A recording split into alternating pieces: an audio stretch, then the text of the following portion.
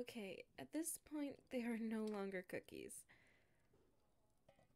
Well, with how much flour is on them, I think we can consider these as holiday shaped mini pizzas.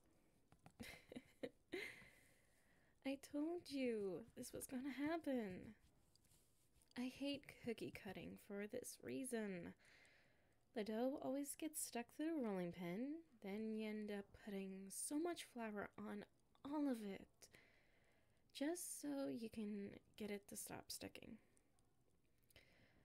However, when that ends up happening, you end up with something along the lines of a pizza dough without any yeast. and with flour pretty much everywhere in the kitchen.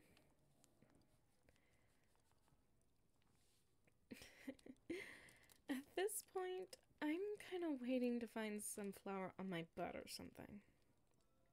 Hey, hey, uh uh. Hey, that doesn't mean get any bright ideas now.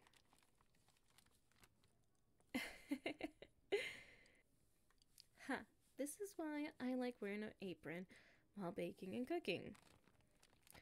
Now you're the one covered in flour. what are you talking about? I had no plans whatsoever to have you covered in flour. You're the one who threatened me with a baking war over flour.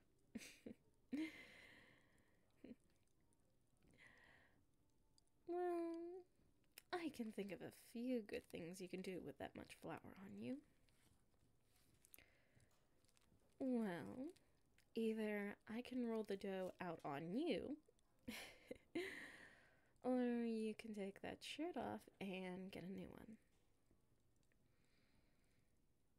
Oh, I might be enjoying this just a little bit.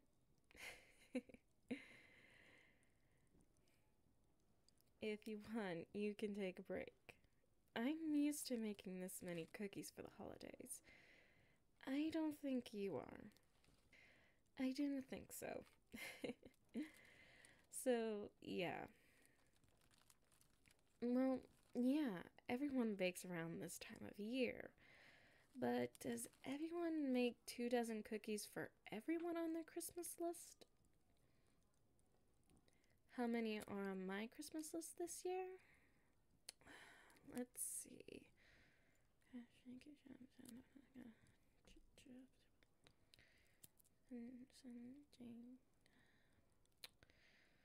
Ten? Wait, wait, no. Twelve. So that's two dozen. Let's see.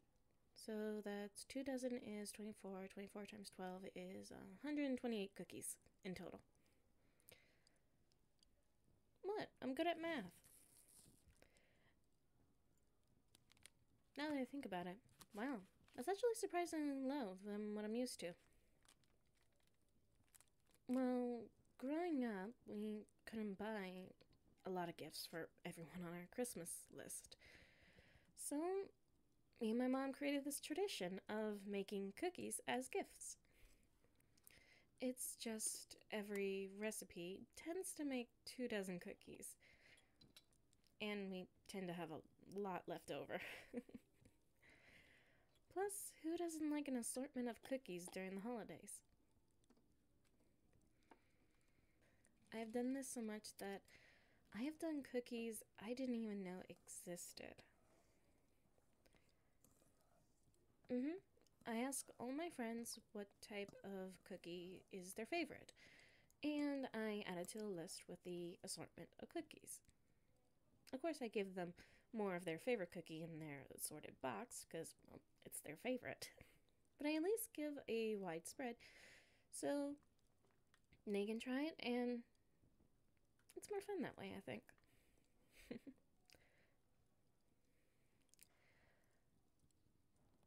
Well, let's see. Um, I've done. Oh God, I hope I say this names right. Uh, um, Reyes Magos cookies. Uh, I'm pretty sure I'm butchering that name. Well, I have a friend whose family is from Spain, so I made these type of cookies for him. I believe he said his family celebrates the three wise men. I did a skim reading, I don't know much about it, but he gave me a rundown. Along with uh, chocolate chips with crushed toffee, I put in his box. with my mom, she loves her Italian ricotta cookies. Still couldn't stand them. My dad loved his chocolate Rudolphs.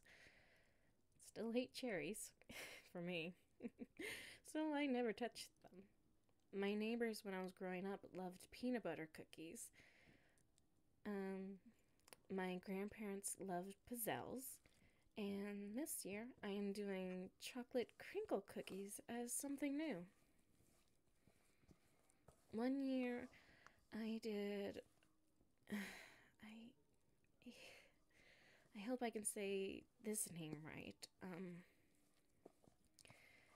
Hamantaschen? I think. Hamantaschen? Uh, they were really good. I made it for one of my friends who was celebrating Hanukkah. And I made a few extra because the ones I made with apricot and strawberry jam were so good. And I took a few to work with me at the time to snack on when I got hungry. I even did um, I cannot remember the original name, but I think the translated name was Cinnamon Star Cookies that following year. That I can actually remember. well, I remembered because my dad had these, I think, rusted metal stars hanging on the wall, and those cookies made me think of those. No, it doesn't seem like a lot to me. I mean, I've baked so much in my life that a few times I have baked sugar cookies when I was mad. yeah, you've seen me frustrated, and once I cook dinner or go on a baking frenzy, I tend to feel better. Maybe it's the fact that I'm taking my frustration out on the dough through mixing and not on something else. Mm. Plus, I've been baking with my mom since before I could remember. I think as soon as I could stand on a chair and mix, I was helping. Well, after this batch, we have. Where did I put my cookie list? I just have to roll out and press my cheesecake thumbprints, and we're done for the day. Don't worry, I already made the dough, and it's been freezing in the refrigerator for a good portion of the day. We just have to scoop it out and add toppings and bake. Well, yeah, I like doing the easy ones last. The best part we don't have to worry about no more flour. yeah, I know, right?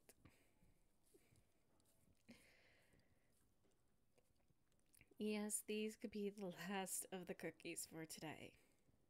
Until I'm off again and I make more. Don't worry, I promise none of the cookies I have left to make have a step that calls for them to be laid out on a bed of flour. hey, you're the one who really wanted to try and make Christmas shaped cookies. I protested, but here we are. Oh, don't give me that look. I just like giving you a hard time. I still need my official cookie taster anyway. Yeah, I thought you would be on board with that. How about this? You get cleaned up, and I'll start cleaning the winter wonderland you caused here. uh, uh, uh, uh, Wait a second. Take that off. I don't need you trailing flour throughout the whole place. Thank you. Mm-mm-mm. I'm not looking at anything.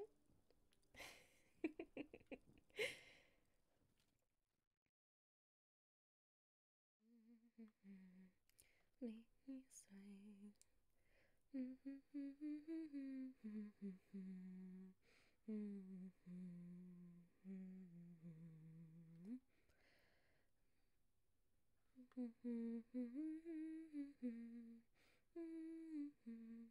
Way with me. You went around away with me. Stay with me. Sway with me. Hey, feel better? Great. Mm.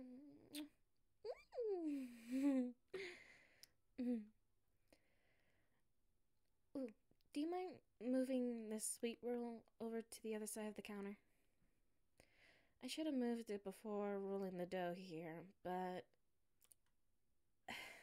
my hands got covered at the moment and I forgot. Thank you so much. I appreciate it. Yeah, I made that too. Oh, don't worry. The icing's the easy part. Rolling it, that's the tricky part. I made it for our neighbors, actually. I wanted to deliver it tomorrow before I went out. Ooh, you want to hear a funny story?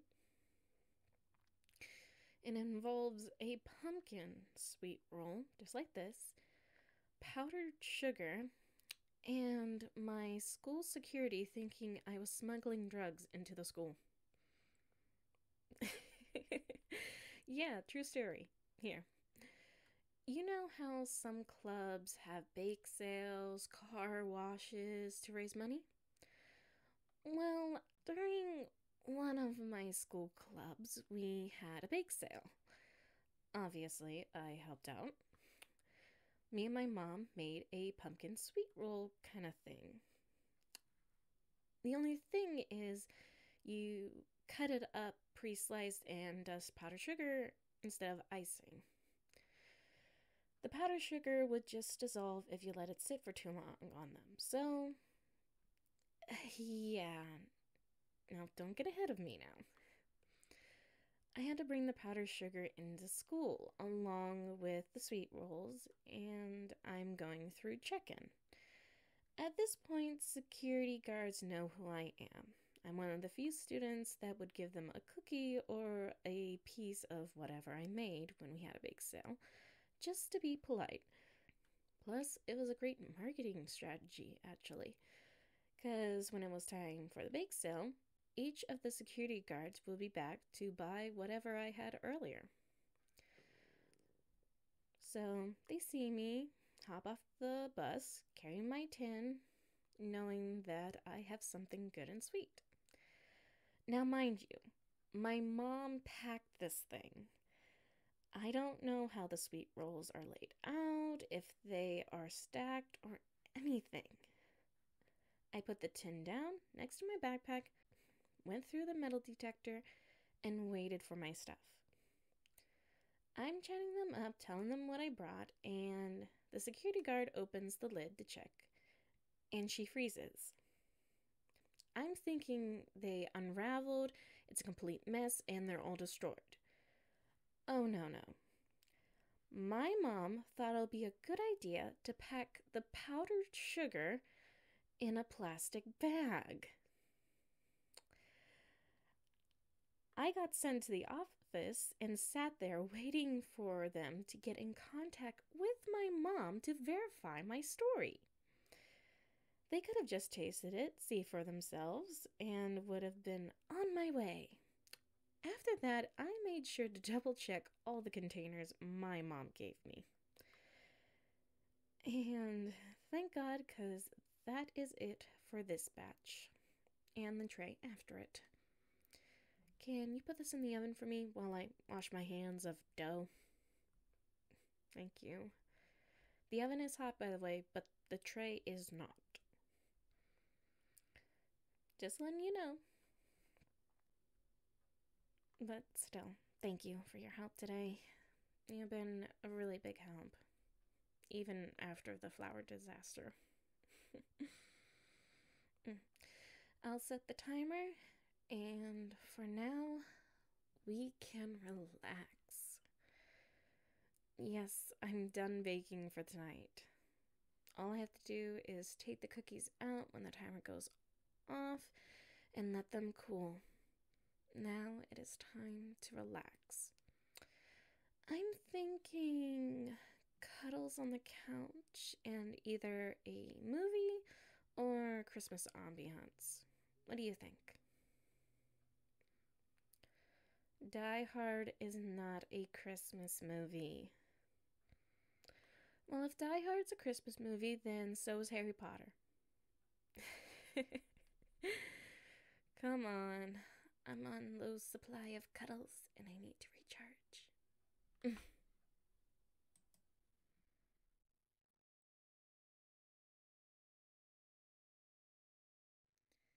hey, wildcards. Did you like the audio? If so, then please hit that like button and subscribe so I can make more audios like this.